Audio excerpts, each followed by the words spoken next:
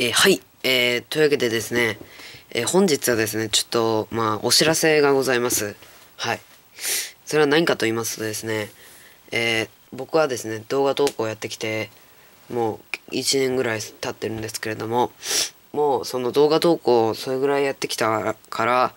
ももうその動画投稿っていうか、そういうのにはもう慣れてきたので、えー、新たなチャンネルを開設することに決めました。っていうかもう開設しました。それがですね、まあその名の通り TK チャンネルののセ,、まあ、セカンドチャンネルですね。はい。作成いたしました。こ、こちらのメインチャンネルの方ではですね、えー、主に、まあ、ちゃんとしたね、編集に編集を凝った、まあ、動画を、ビデオカメラでね、もうビデオカメラガチャって撮って、本気で撮るような、編集を思いっきりかけたような動画をこっち側にはいっぱい上げていくと思うんですけれども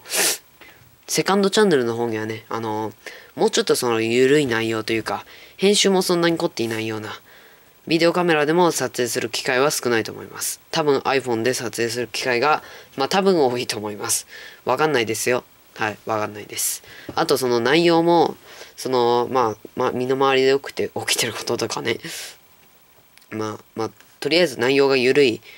動画ををまあいろいろと撮っていきたいつもりなんでよろしくお願いします。えー、お知らせこれだけです。はい。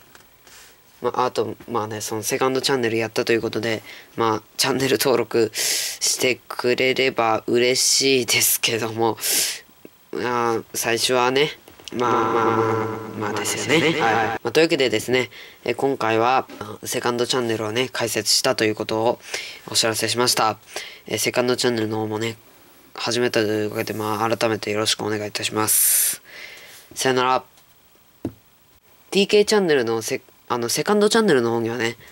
セカンドチャンネルの方にはね、あの、もうちょっとその緩い内容というか、編集もそんなに凝っていないような